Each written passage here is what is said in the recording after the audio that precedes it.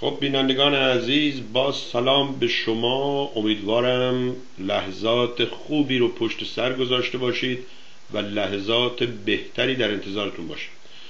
ببخشید که امروز ویدیو نداریم. دلیلش هم این هست که بنده قطره در چشمهایم ریختند و عینکی هم بر روی چشمهایم گذاشتند تا دو سه ساعت دیگه هم باید همین جوری به اصطلاح این عینک رو داشته باشم و نور و نور زیاد مخصوصا نباید به چشمم برسه. شما هم یادتون باشه مخصوصا بالای پنجاه شست همیشه به موقع دکتر برید دکتر چشم برید و امیدواریم که سالم و خبرهای خوبی هم داشته باشید. و اما امروز چهارشنبه 26 آبان ماه 1395 برابر است با 16 ماه نوامبر سال 2016 میلادی. ما روز دوشنبه با آقای سهراب چمنارا بودیم و دیروز اینجا قوقایی برپا بود. دوستان تماس گرفتن که آقا آقای سهراب چمنارا شاه اللهی هست با ملاها هست. چی هست؟ گفتم والا من از کسی نمی‌پرسم. خود شما باید دقت کنید حدس بزنید که کی چی هست و کی چه می‌گوید. در صورت تا اونجایی که من آقای چمنارا رو می‌شناسم ایشون هم دنبال یک حکومتی میگرده که مردم در اون حکومت حق رأی داشته باشن. اتفاقا بد شد ویدیویی رو که ایشون فرستاده بود اون روز. من وقت نشد نشون بدم که یک آخوندی صحبت می‌کنه که آقا مردم میان رأی میدن یعنی چی؟ مردم حقی ندارن. حق فقط مال ولی فقیه. اونم چه ولی فقی ولی فقی که به اصطلاح خدا و امام زمان تعیین کرده. وقتی آدم اینو می‌بینه البته این ویدیو رو آقای چمنارا خواستن از ما که روز جمعه پخش کنیم. ضمنا جمعه خبر خوب این که هم با آقای دکتر نصر احمدی خواهیم بود هم با آقای دکتر کازم افشارها و قبل از این دو عزیز هم با کانون آوا خواهیم بود که دوستان صحبت کنند. خلاصه این ویدیو رو من بعد از برنامه روی صفحه مردم تیوی روی پیج به اصطلاح فیسبوک هم قرار میدم و شما هم دوستان می‌تونید هر وقت ویدیویی دارید مقاله‌ای دارید چیزی دارید اون رو با خرج ده دلار روی فیسبوک بذارید برای تعدادی بیش از 8000 500 نفر. و امروز خیلی جالب بود. من وقتی که برنامه نایاک رو مستقیما گذاشته بودم روی فیسبوک دوستان از نایاک گفتن که آقا ما باورم نمی‌شد که تلویزیون مردم صفحه فیسبوکش این همه به اصطلاح بیننده داشته باشه. گفتم والا ما تلویزیون چیا دروغ میگیم؟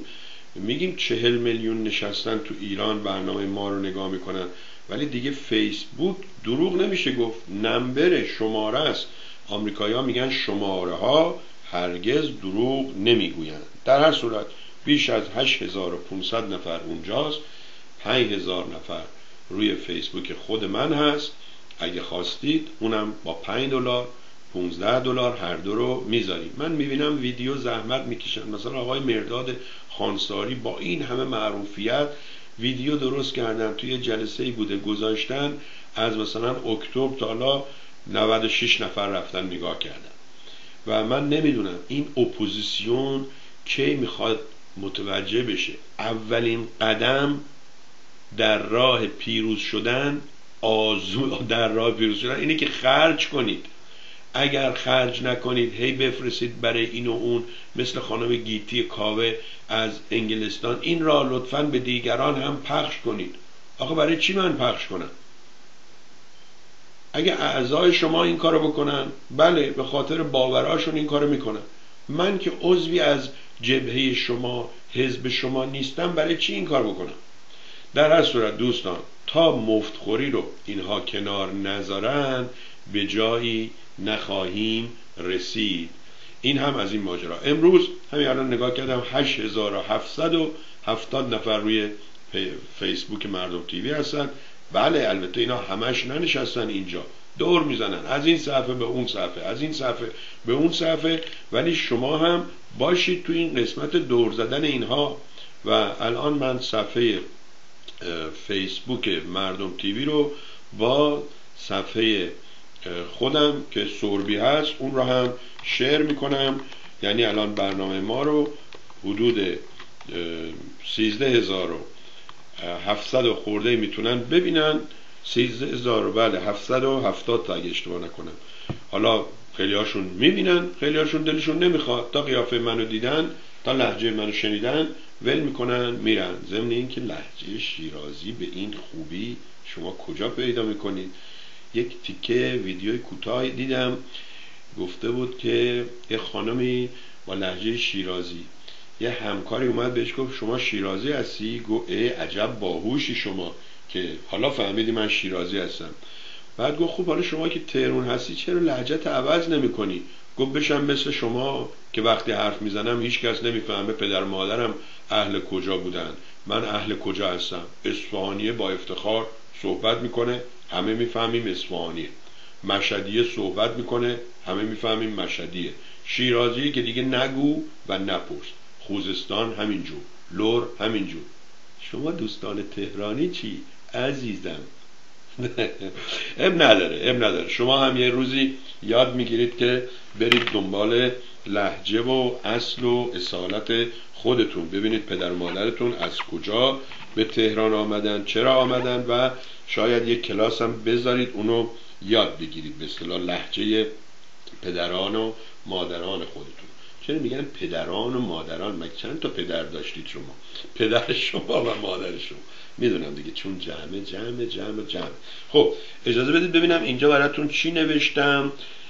نوشتم که بله فایل فولدر امروز رو حتما بگو. اجازه بدید من از دوستمون آقای حسن خزایی تشکر کنم.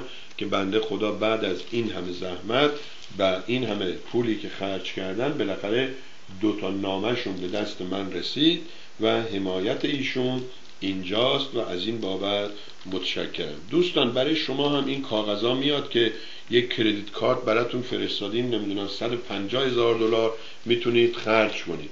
من هیچ وقت خودم را اسیر این کردیت کارت ها و این پیشنهادهای قلابی دروغی نکردم ولی متاسفانه شاهد بودم که خیلی از دوستانمون این کار را انجام دادن و فکر کردن پول مفتی هست و اینها گرفتند و خوردند و بعد بعضی چیزهایی رو تو زندگیشون هم از دست دادن به خاطر اون مفتخوری.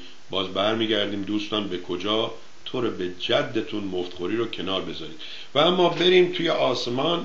و آسمان دیلی نیوز رو نگاه کنیم چرا روحانی درباره ترامپ سخن نمی‌گوید؟ ما چه می‌دونیم چرا؟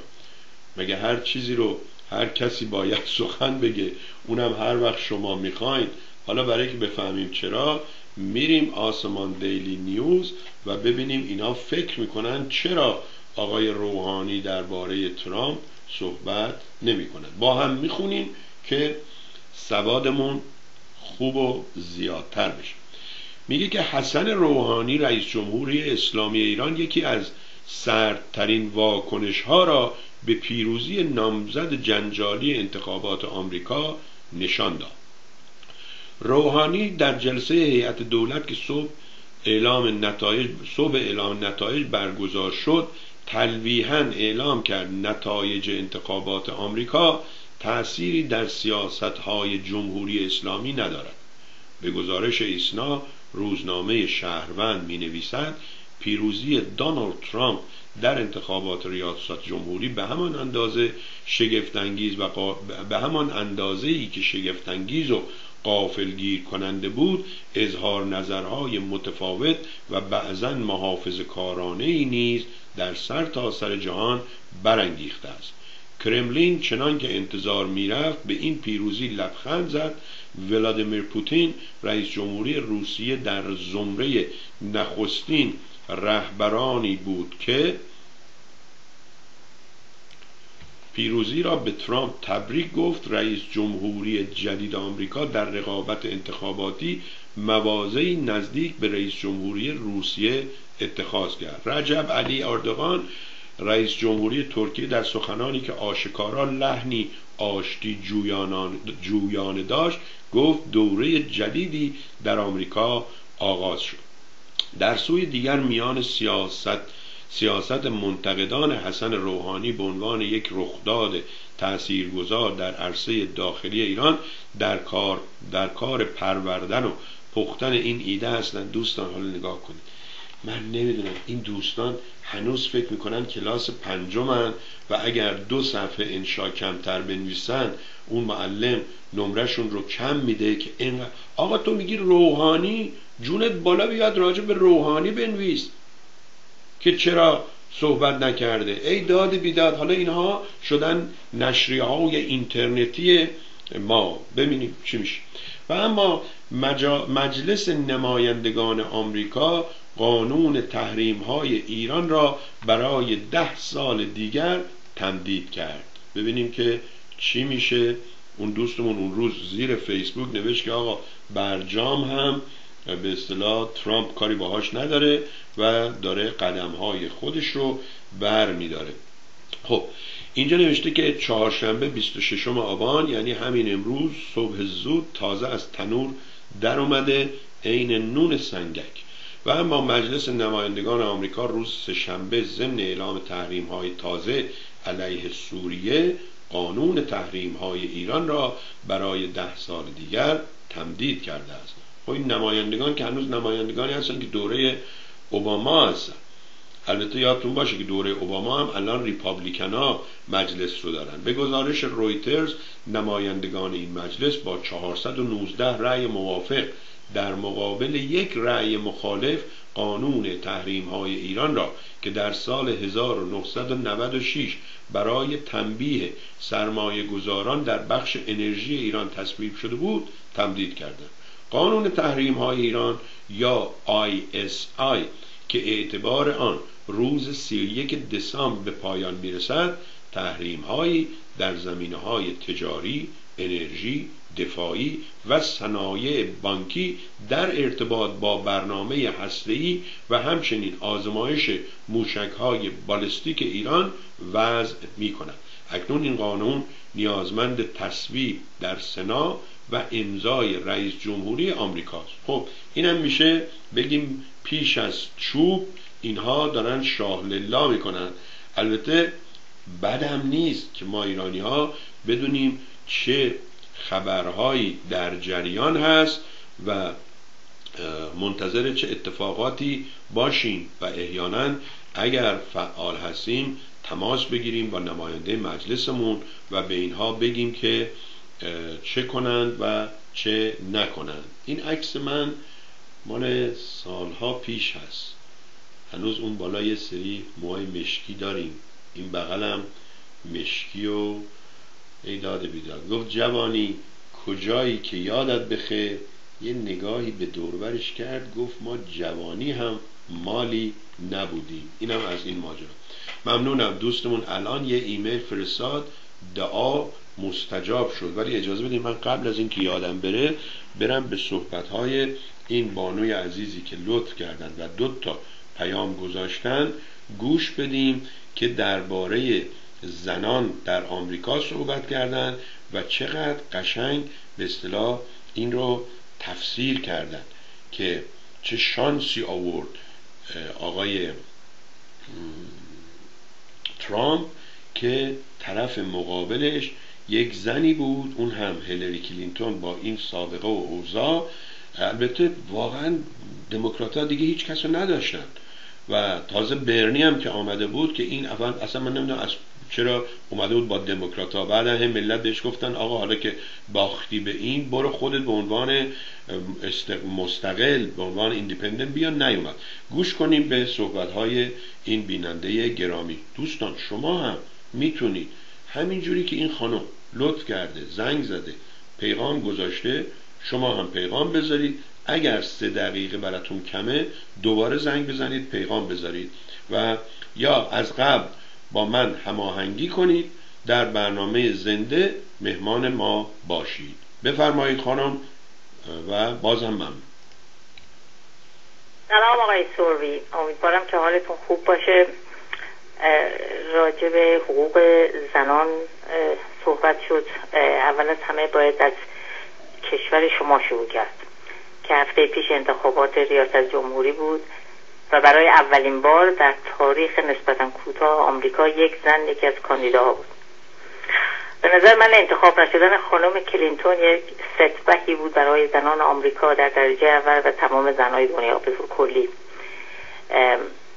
مردم آمریکا من فکر کنم از نظر فکری هنوز آمادگی اون رو ندارن که یه زن رو به رئیس جمهوری انتخاب کنن. در این میان رقیب ایشون آقای ترامپ خیلی آدم شانسی بود. که برای اولین بار یک زن رقیب انتخاباتیش بود. یعنی اگر این کوالیفیکیشن خانم کلینتون رو در نظر بگیریم در که داشته در فارغ تحصیل دانشگاه یل خودش در کتاب خاطراتش نوشته که من در دانشگاه یل دانشگاه هاروارد رشته حقوق قبول شدم و مردد بودم که کدوم رو انتخاب کنم. بالاخره به دانشگاه یل رفته سالها کار بکارت داشته.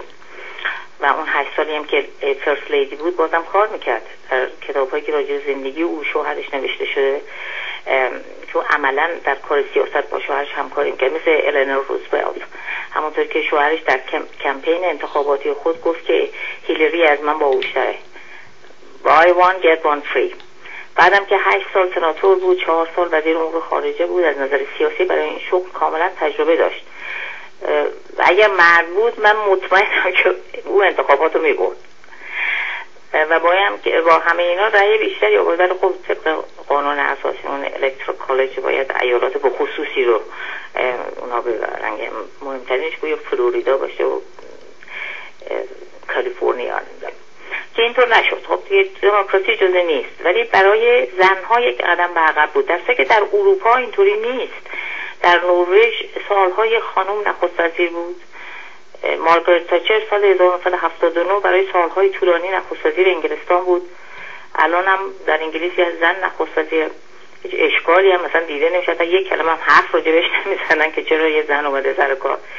صدر اعظم آلمان سالهاست که یه خانم در اینجا در کانادا یه مدت کوتاهی یه خانومی به نام خانم بود نخست وزیر کانادا بود بعد همیشه هم تعدادی از پریمیرها که در آمریکا بهشون میگن فرماندار همون شغل دارن. من جمله همین حالا در این اونتاریو همیشه یه خانومه. و حتی در آسیا فکر می‌کنم سال 1963 یا 64 بود که خانم اندراگاندی نخست وزیر هند شد که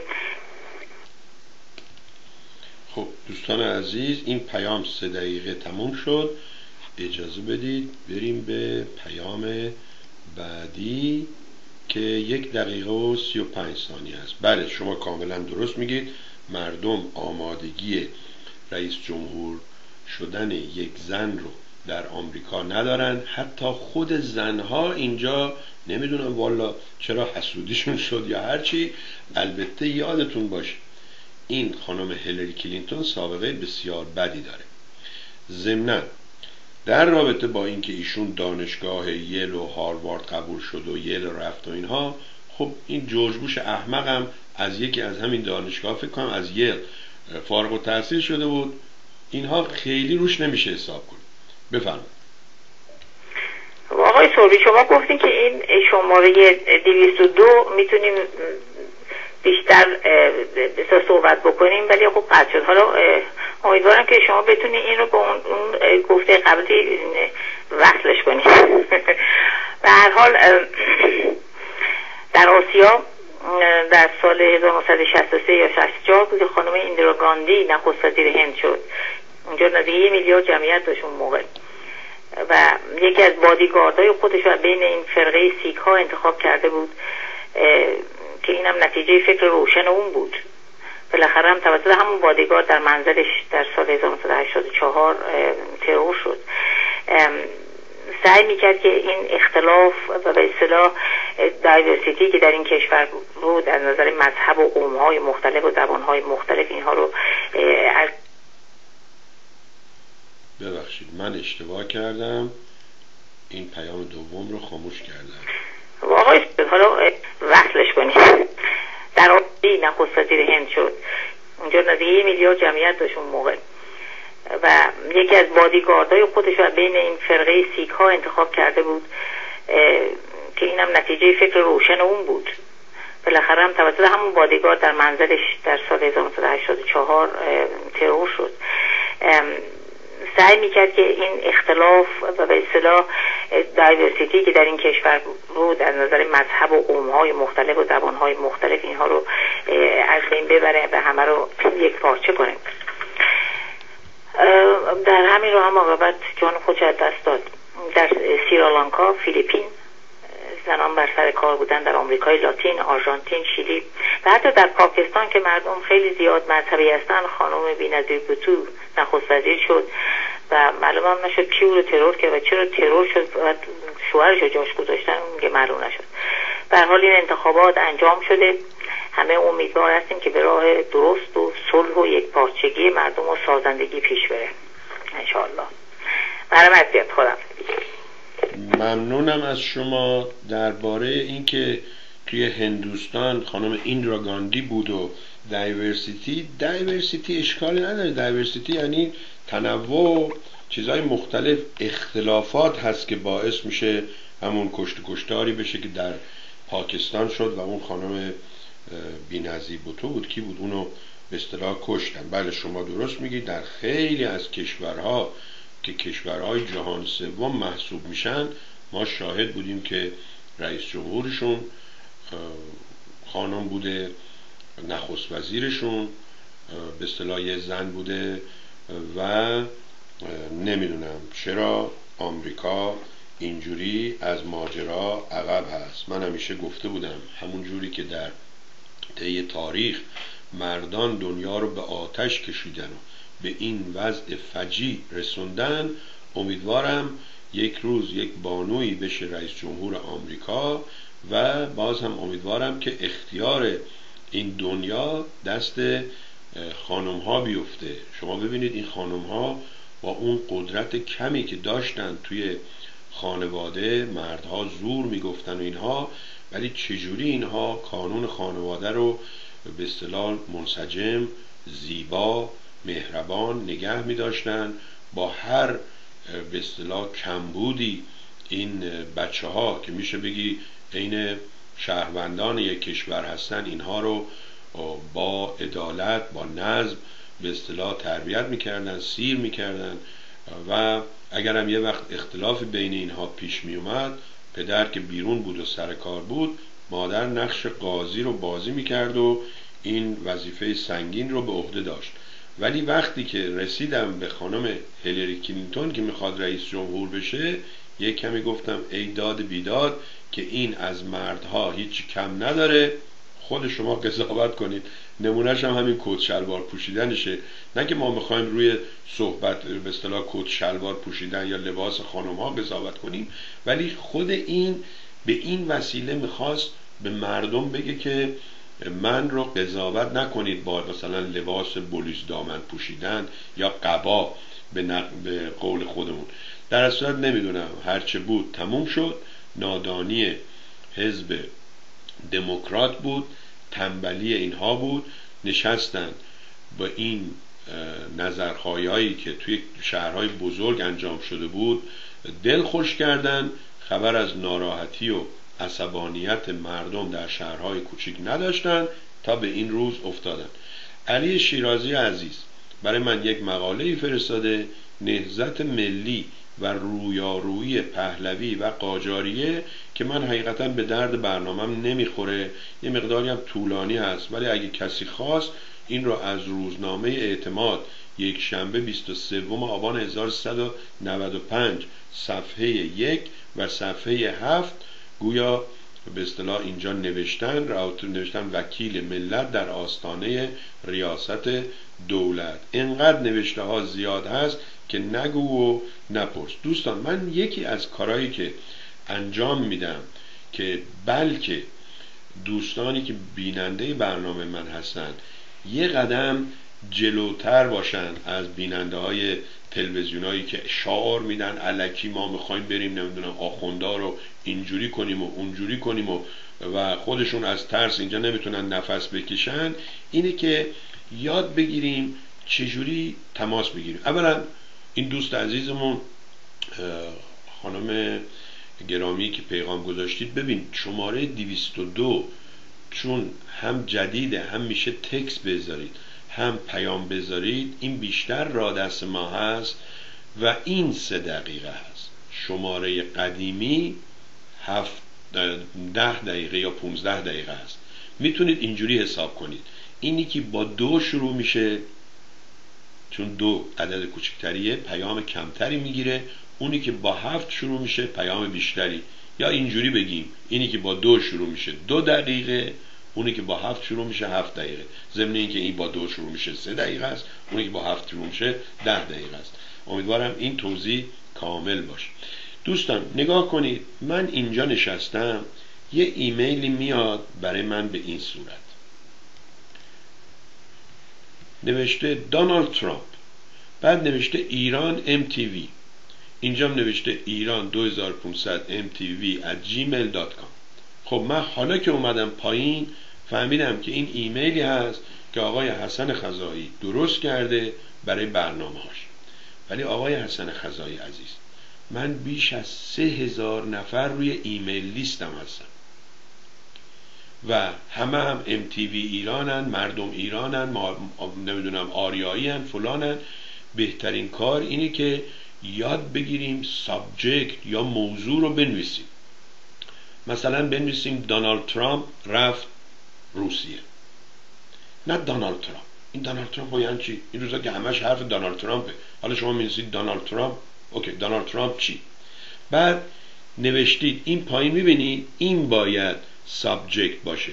Lawsuit charges Donald Trump with raping a 13 years old نمی‌دونم girl.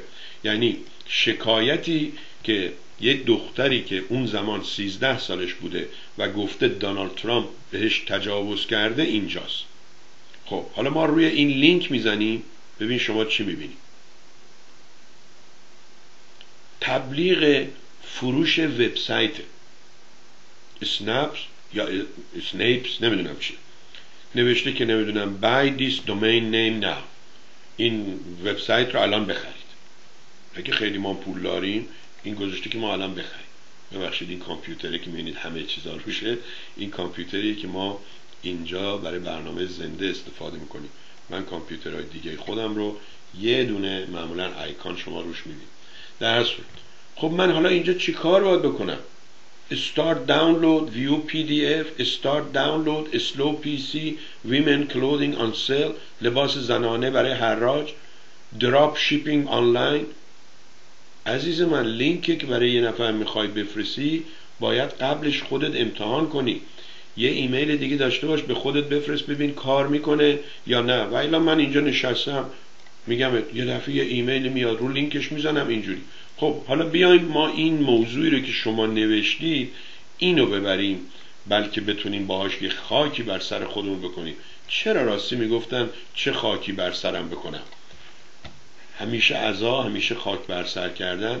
حالا ما میان اینو اگه شما تو subject نوشته بودید ور میداریم می‌ذاریم ببینیم می‌تونیم از این طریق یه چیزی پیدا کنیم. به قول دوستان کلک چی بهش می‌زنیم؟ ببینیم. بله اینو گذاشتیم تو باکس. بله حالا اومد. Lawsuit charging charges Donald Trump with raping a 13 years old girl. در جون 23 2016 a civil suit against Donald Trump alleging نمی‌دونم the rape 13 years بله. خب این را رفته ببینیم که چی میشه و اینها. اون وقت اونی که شما خواستی لینک کنی ببین این اسنوپس بوده. این پایینیه. ببینی ولی شما ای رو کردی ای او رو کردی ای ای خراب شده ماجرا. بهترین کار اینه. وقتی شما رفتی رو اون وبسایتی که می‌دونی درسته می‌بینی اینم اینجا آقای دونالد ترامپ از بس گفتن دستش کوچیکه حالا داره اندازه چیزهای دیگر رو نشون میده. ببینید اینجا که اومدی این یکی رو بذار ببینم خدایا ما چیکار کنیم؟ هفته رب ساعت به دوستان درس بدیم این اینترنت و اینا. شما تنها نیستی یا این دوستمون علی آقا هم همینجوره. مینسه بخوان بخوانید حتما تا آخر بخوانید. که آقا چی؟ اقلا بنویس درباره چیه. یه دوست دیگه میگه تماشا کنید حتما تا آخر تماشا کنید. بعد دوستان ببینید این بالا تا می‌زنید آبی میشه میان کاپی می‌کنید اینو تو ایمیلتون میفرستید برای دیگران. یا ایمیل اول این قسمت این موضوع. برمیدارید میان اینجا میرید تو ایمیل خودتون می‌نویسید. خب مثلا برای خودم دارم میفرستم. USA بیارمش این ور شما ببینید میاد یا نه. بله به آدرس خودم نوشتم. این میشه subject یا موضوع این ایمیل. بعد میاین پایین اینجا. حالا من اینو پاک می‌کنم که ایمیلم چیزش نباشه پاک پاک باشه. بعد این یکی آدرس رو که ور میدارید از این بالا نه از این پایین از این بالا این میشه لینکش. لینک یعنی همون حلقه های زنجیر که مثلا این موضوع رو حلقه زنجیر لینک کرد به این. حالا من اینو برای خودم میفرستم. الان اومد داخل inbox حالا ببین عزیز من وقتی من این اولی رو باز می‌کنم ببین چی میاد. Snopes نه Snipes شما این او رو کرده بودی ای حالا ببین وقتی می‌زنم ما رو می‌بره تو اون صفحه امیدوارم که یه مقداری بیشتر دقت کنید هم از وقت خودتون بیشتر می‌تونید استفاده کنید هم وقت دوستانتون رو تلف نمی کنید اینم از این. همینجوری که گفتم امروز ساعت سه بعد از با آقای یزدان خدابندلو هستیم. از آلمان دوستان هم سوالاتی کردن روی فیسبوک و ایمیل و اینها اونها را هم هر وقت آقای خدابندلو فرصت بده ما می‌پرسیم تا ایشون پاسخ بدن. و ببینیم که دیگه چی داریم براتون. روی فیسبوک هم اگه وقت کردید برید تماشا کنید. آها یه چیز دیگه ای که من خب تشکر می‌کنم بعضی ها مثلا ایمیل های جالبی میفرستن مقاله جالبی میفرستن. خانم شایسته الهامی مثلا مقاله رو که روز 15 هم توی نشریه نوشتن برای ما فرستادن. حالا وقت بشه می‌خونیم. ولی این که دوستان هر آشغالی رو به دستتون می‌رسه برای دوستانتون بفرستید آخه این یکم بیانصافیه. مثلا انقدر فقط ما نیستیم ما انقدر این رایج شده که شوخی می‌کنن. میگن خود فیسبوک گفته دیگه نگران نباشید. ما یک برنامه گذاشتیم که هر جانکی یا هر آشغالی برای شما میاد اتوماتیک برای دوستانتونم بره. ما به این آقای دوستمون همشهریمون آقای مهران مهربانی داریم راجع به این صحبت می‌کنیم که آقا ما چه گفتیم خانم هلری ترامپ؟ بعد تازه اگه گفته باشم هم این نظر من بوده. شما نظر چیه؟ برمیداره برم رقص جهرومی در احمد محمودی میفرست آخه چیه؟ من وسط برنامه زنده چرا باید بیام برم رقص جهرومی نگاه کنم؟ ای داده بیداد ای داده ای داده بیداد. خب چرا روحانی رو براتون خوندم که هیچ معنی هم نداشت؟ روزنامه اعتماد رو گفتم. این اسنوپس و دوستمون اشتباهی فرستاده اسنیپس یا اسنپس بله آور رولوشن. رولوشن که دیگه همه ما ایرانی ها می‌دونیم یعنی انقلاب. حالا تازه ما هر روز برای برام ایمیل میاد که بیایم بریم اینجا انقلاب کنیم. بابا یه بار انقلاب کردن تو ایران بسمون بود. من خوشبختانه یا بدبختانه معمور حکومت نظامی بودم روبروی اونایی که انقلاب کردن. ولی خوشحالم که نه به کسی تیر زدم نه به کسی چی میگن قنداق تفنگ زدم و به خاطر این تازه یه دو هم اونجا سروان محمدی و اینها ما رو زندانی کردن که چرا به سربازا گفتید علکی به مردم به اصطلاح هجوم نبرید خب اینا میگن که our revolution انقلاب ما. میگن که برنی ساندرز is going to give a major speech on Wednesday night امشب.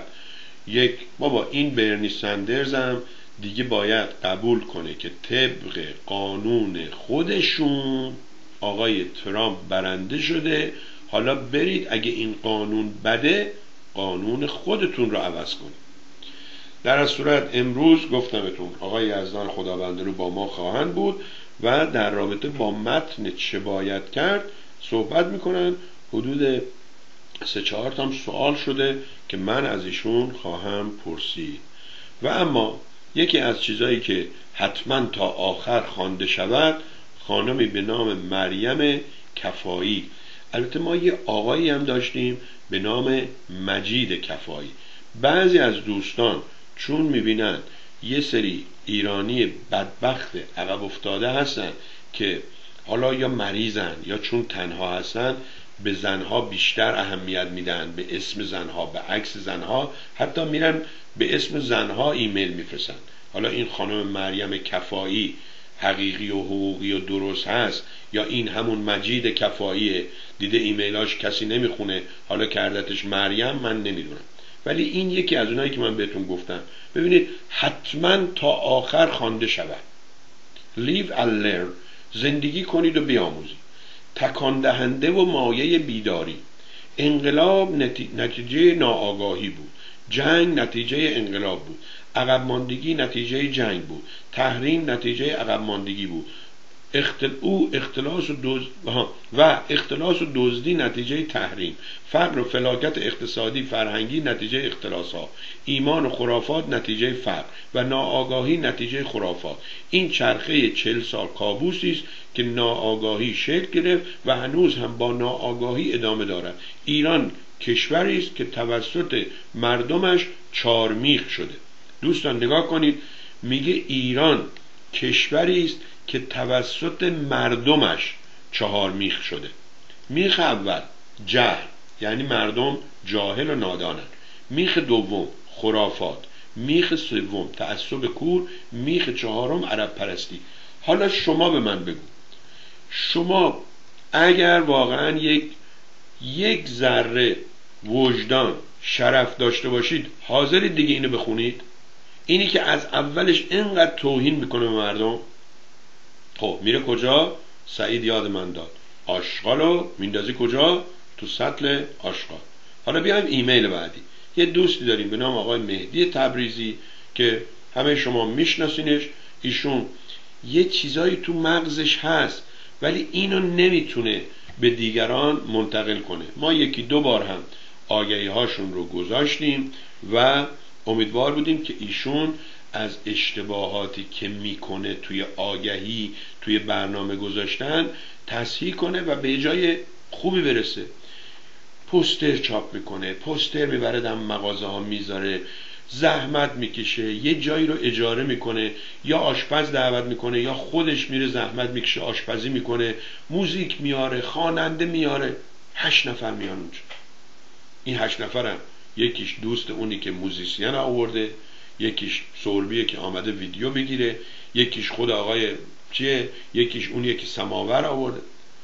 در 26 هر ماه از بحر کسب رضای الهی دعوت می شود تا با امید و نوید یک زندگی آرام. ببینید انقدر می نویسه ولی من که هنوز نفهمیدم این برنامه ها برای چیه. یه دفعه می نویسه که اونهایی هم که لباس خوب می پوشن جایزه بهشون داده میشه. لباس خوب برای چی؟ چه لباسی؟ خب یه دوستی هم زنگ زد ما تلفنمون رو بستیم. لطف کنید پیام بذارید. در برنامه زنده مگر اینکه گفته باشیم اون روز برنامه تلفن باز هست یا اینکه از قبل قرار گذاشته باشیم ما به تلفن پاسخ نمیدیم. دلیلش هم اینه این همه سال پاسخ دادیم به کجا رسیدیم؟ الان تلویزیونایی که پاسخ میدن شما نگاه کن طرف 40 دلار 50 دلار داده تا از خانم نمی‌دونم فلانی رد بشه بیاد تو استودیو با آقای آریان وطنخواه دیوانه صحبت کنه. چی میگه؟ نتیجهش این میگه آقا ما همه منتظریم. روزی که چی شد میریم. آخوند آقا منتظر نمی‌خواد باشی. برو از همه الان یه غلطی بکن. یه مش دروغ. اوکی. اگر ترامپ بخواهد بر جام را برهم بزند ایران قرارداد را آتش می‌زند. اینم این. خب چه کاری کردید اگه اون بخواد برهم بزنه شما هم آتش می‌زنید؟ همش آتش زدن همش خراب کردن هیچ چیزی شما نمی‌خواید یاد بگیری. خب اینم یکی دیگه از دوستان فرستاده. برای یکی دیگه از دوستان ما. اون دوست اونم برای ما فرستاده دوباره با همین سرتیتر که این مقاله را کامل مطالعه بفرمایید. آخه خانم عزیز آقای محترم شما مگه نمی‌دونی که ما ایرانی هستیم؟ ما حوصله نداریم. ما حوصله خوندن نداریم. چرا گول خودتون می‌زنید؟ به مردم نگید این مقاله را کامل مطالعه بفرمایید. مقاله رو جوی جذاب بنویسید که اگر ببخشید می‌خواد بره دستشویی هم نره این مقاله رو بخونه. اوکی. این مقاله را روزنامهنگار ایتالیایی آناکاندا همزمان با سفر حسن روحانی به ایتالیا در روزنامه پورتیراژ کوریه دلاسرا منتشر کرد. انتقاد دوستانه ای از مردم ایران. نتین آناکاندا در مقاله می نویسد ایرانیان نمونه بارز داشتن الگوهای ذهنی مخرب هستند. آنها در درازنای یا در درازای درازای تاریخ ویژگی جالبی از خودشان از خود نشان دادند. زمانی که کشورشان در مسیر رشد و ثروت قرار می‌گیرد گویا نمی‌توانند بپذیرند که این پیشرفت از آن آنهاست. با به هر شکلی دست به تخریب ناخداگاه می‌زنند تقریبا بسیاری از دودمان دودمانهای پادشاهی ایران به همین شکل از میان رفتند ایرانیان یا خود شورش کرده و یا در برابر دشمن بیگانه به مبارزه جانانه دست نزدهاند. حتی پس از حتی پس از رشد اجتماعی و اطلاعاتی معاصر باز هم این ویژگی حفظ شده است. در سال 1979 ایرانیان در حالی شورش کردند که کشورشان در مسیر رشدی بسیار سریع از هر نظر قرار داشت. رفاه جامعه ایرانی بسیار بالا رفته بود. رشد اقتصاد ایران رکود جهانی را شکسته بود. رشد هنر و فرهنگ و ورزش ایران در مسابقات جهانی نمایان شده بود. ایران محلی برای گرد همایی توریست ها شده بود و ایران کشور همیشه در و ایران کشور همیشه در صدر اخبار جهان به عنوان یک کشور کهن اما متمدن بود. آقا خانم این مزخرفات چیه؟ این حرفات چیه میگید خود شاه شما میگه من رفتم مدرسه سوئیس گفتم از ایران هستم گفتم کجا؟ اصلا کسی ایران رو نمیشناخت. خب چجوری من می‌تونم این مقاله رو تا آخر بخونم؟ پس اینم ردش می‌کنیم میریم سراغ چیزهای دیگه. حالا دیدید چند تا مقاله تا آخر بخونید ویدیو تا آخر تماشا کنید و الی آخر. خب این جالبه. حدس بزنید دوستان اینجا کجاست و این آدم ها کیا هستن؟ بذارید براتون بیارم. اینجا رو. بله بله بله. خب اونایی که اهل سک و سینما هستن سلکت ایریا بریم از اینجا تا اینجا رو نشون بدیم. کمرای سه. بفرمایید. اینجوری خوبه. یه عکس گویاتر از هزار کلمه است. لازم هم نیست بالاش بنویسیم تا آخر. بخونید. اوکی. خب جک نیکلسون این اولی. هنرپیشه ای که من خیلی از این به اصطلاح بازی که واقعا این آدم دیوانه است. خوشم میاد. این آقای الان هم یه فیلم کارگردانی کرده که این هم یه فیلم های خیلی قشنگ داشته خدایا دیشبم تو تلویزیون بود. یادم رفت. ولی مهمتر از همه این آغاز الان. حد زدید اینجا کجاست؟ حد زدید دوستان؟ اگه حدس نزدید بریم پایین براتون بخون آها این وارن بتیه وارن بتی. خب ببینید نوشته که هر جا که حد زدید اشتباست. خب این غلطه. اگر یکی این عکس رو حد زده بود ایران و تهرانه اون اشتباه نکرده. شما باید بگید که اگر جایی به غیر از تهران حد زدید اشتباهست اینجا تهران است. در اوایل سال 1156 دانالد ترامپ راستی بعضی ها میگن اون حرف وسط جی چیه؟ دانالد دانالد جان ترامپ. دونالد ترامپ جوان دونالد ترامپ جوان در کنار جک نیکلسون و وارن بیتی در سفری به ایران به دنبال ساخت کازینوی در یکی از شهرهای شمالی ایران بودند که به خاطر اینجا نوشته شورش 57 ولی آقای یزدان خداوندلو ده بار توضیح دادن که بابا انقلاب 57 بوده. Get over it. در هر صورت نوشته که به چیز افتاد. کنسل شد اون ساختن کازینو در شمال و حالا امیدواریم یا شاید یکی از برنامه هایی که آقای کازینو آقای چیز داره ترامپ داره اینه که برگرده ایران و اون کازینو رو به اصطلاح بسازه. الان چون فشار زیادی روی این ترامپ اومده که آقا تو این آتلانتیک سیتی رو ورشکسته کردی اینها گفته من می‌خوام برگردم نمی‌دونم این ترامپ تاج محل ترامپ و اینا رو درست کنم و فلان ولی میگن اصلا امکان پذیر نیست. این هم از این ماجرا. من درباره دوستان این box ایرانیان IPTV صحبت کردم. بسیار ممنونم از دو تا دوستی که یکی از کانادا یکی از ژاپن تماس گرفته به این عزیزان و به اصطلاح یا سوال کرده یا مایل به خرید این دستگاه بوده. خب این باعث میشه که این دوستمون امروز به من تماس بگیره بگیر خیلی ممنون و ما حاضریم با شما به اصطلاح کار کنیم. از شما ممنونم دوستان.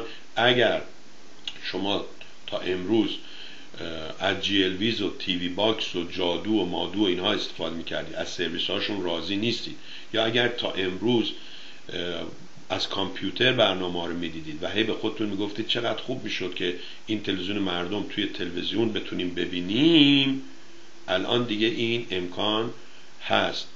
با خرید یک box ایرانیان TV ایرانیان IPTV یک بار پول می‌دید. شما این رو می‌خرید. من حتی می‌خوام از این دوستان خواهش کنم. که هر کسی گفت من از مردم TV هستم یه تخفیف خوب بهش بدن. این دو تا حسن داره. یکی این که طرف می‌فهمه که این از مردم تیویه یکی این که افراد بیننده مردم تیوی هم میگن بابا بالاخره این همه سربی مزخرف گفت ما سی دلار چل دلار پنجاه دلار سود بردیم حالا ده دلارش هم بفرستیم برای تلویزیون مردم. دوستان حمایت فراموش نشه. من خیلی ممنونم از آقای حسن خزایی از آقای منوچهر عزیز که این دوستان با مای ده دلار با مای سی دلار ماهیانه هر جا هم یه وقتی کار داشتن ماه دیگه گفتن که این مال دو ماهه. قشنگ خودشون رو مقید دونستن و این به ما هم دلگرمی میده همین که نه یه دفعه بشینیم یه نفر 500 دلار هزار دلار بده بره دیگه ازش خبری نباشه. در هر صورت اگر اینها رو به صورت ماهیانه کمک کنید ما می‌دونیم که ماهیانه 100 دلار هزار دلار 500 دلار 300 دلار داریم بر اساس اون خرج کنیم بلکه بریم یه صندلی بخریم این صندلیمون اینجوری قیژ قیژ نکن. خب این هم از این ماجرا. ببینم که حالا دیگه چی داریم؟ Google Voice. این نمی‌دونم شماره تلفن مال کیه. ببینیم پیام برای سلام آقای سربی. حامد هستم ایران IPTV بله بله. این دوستمون از ایرانیان IPTV لطف کردن زنگ زدن و من براشون نوشته بودم دو تا چهار برنامه زنده دارم. بعد از اون با هم تماس می‌گیریم.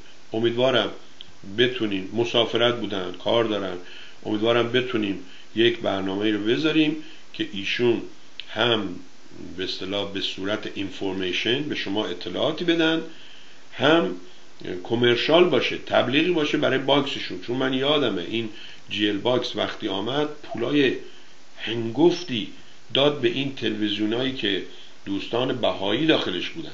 آقای ثابت ایمانی تلویزیون پارس و اینها و اونها براشون infomercial درست کردن. infomercial دوستان حتما توی تلویزیون های آمریکایی یا هر کشور دیگه ای که باشی دیدی؟ من دیدم حتی ایرانی ها الان این کارو می‌کنن. مثلا میان دو, دو تا خانم میشینن راجع به یک آب و فیلتر صحبت می‌کنن.